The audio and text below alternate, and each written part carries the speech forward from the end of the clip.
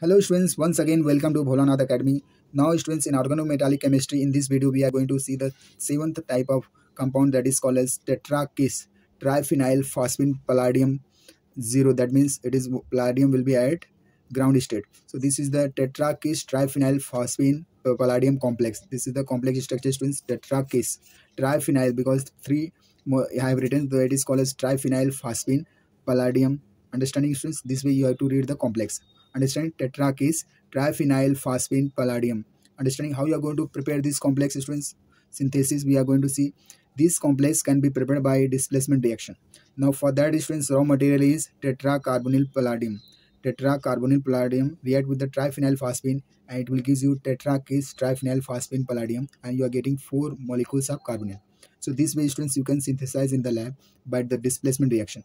Now what happens students we have when you write down the structure students it has a square planar structure. The palladium will be at the centers and triphenyl phosphine will be at the corners. You, so you can make the it is what square planar structure. Understanding students?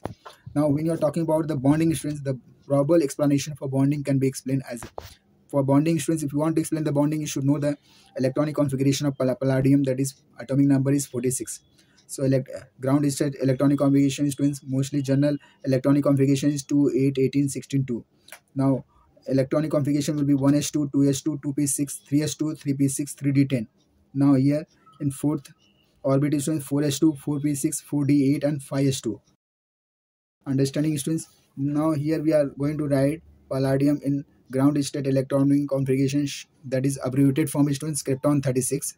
Now 4d8 4s2 and 5p0 so 36 is there students. Now 8 plus 2 10 that means 46 that is 4d8 and 5s2 now 8 electrons are distributed like this in the d orbitals d subatomic orbitals. And yes electrons are like this. And p orbitals having there is no electron. That is all the orbitals are vacant. Atomic orbitals of the palladiums are vacant.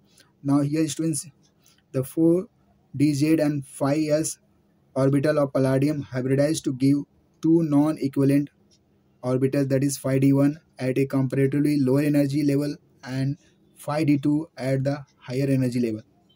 The energy level diagram for these orbitals can be represented like this. Now students, 5d1 will be as the lower energy and 5d will have what? Higher energy with respect to 4d. Understanding students? So this way I have represent energy level diagram students. These are the metal orbitals 5d1, 4d, 5d2 and 5p understanding students so 5d having two paired electrons. So these are the subatomic orbitals of the 4d understanding students now here we have vacant d pi orbitals of the phosphine ligands. Now these are the filled metal orbitals. They will overlap and they will overlap and they will form the molecular orbitals with the vacant d pi orbitals of the phosphine ligand. So this is the metal orbitals and this is the ligand orbitals. They will overlap and they will form the molecular orbitals of the complex the orbitals 5d1 is considered to be non-bonding. These orbitals will not participate in the bonding. Only these two orbitals will participate in the bonding. Understanding students? 4d. What happens students? The 5p orbitals and 5d2 orbitals are at the high energy level. So they do not take part in the bonding and remaining 4 4d orbitals, filled orbitals of metal combined with the vacant d orbitals of the 4 phosphine ligand and they will form the bonds.